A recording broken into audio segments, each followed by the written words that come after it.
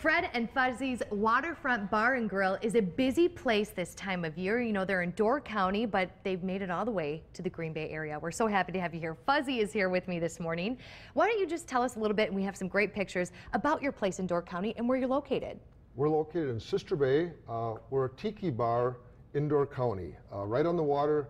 I don't think you can sit closer anywhere in Door County to the water. Uh, the views are spectacular, sunsets are great. Um, we have a, a sandwich type menu that goes everywhere from steak to tuna to salads to um, chop sal cob salads, garden salads, and burgers, kids menu. You got it all. And you, that view, tell me about the pictures that we're seeing. It looks absolutely gorgeous. Well, this is as you walk into the to bar and grill. You're looking out at the bay of Little Sister Bay with the point across, and you're looking in a westerly direction. So therefore, we have sunsets from May till middle of September, and then they start going up on the bluff Oh my at gosh. that time of year.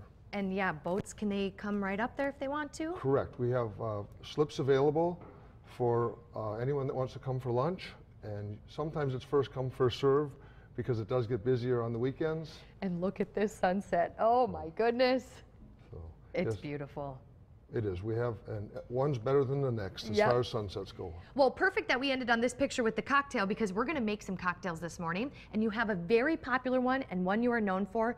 What is that one? Well, the one we're most popular for is our cherry margarita made with Door County cherry juice, uh, which is made at two of the local markets, one in Fish Creek, uh, Lautenbach's, and Seaquist in Sister Bay. Well, let's go ahead and put it together. What do you need for it? Okay, we'll start out with a 16 ounce glass. We're going to fill it with ice. If I can get the ice in the glass. and then we're going to take, we use a golden tequila because it's a little smoother. Okay.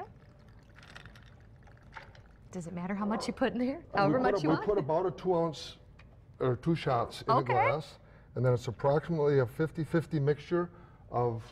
Uh, we use a Daily's margarita mix, and then here's our uh, tart cherry juice, oh, wow. and then we'll give that a little stir, and then we'll top that off with a lime, and there's your Door County cherry juice margarita. Wow. That was quick and easy, too. I, I'm just going to have a little taste Sure. test, just a little bit. Oh, yeah.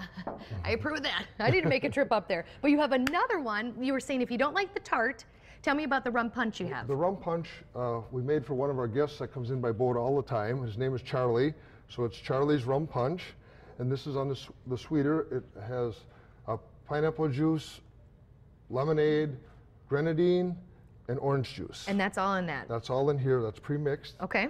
and we do the same with this. And then we have what we call Charlie's Charlie, because when he comes in himself, he likes to have an extra sh- floater on top. Oh, okay. So we do that How often does Charlie come into your place? almost every week. Wow. And usually by boat, but not always.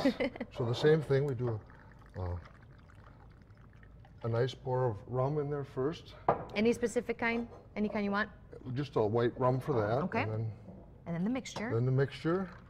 And then we take, and if it's Charlie's Charlie, then we take we take a, just a topper of your dark rum on top, Wow. and then we'll finish that off with a orange and a lime. And a lime.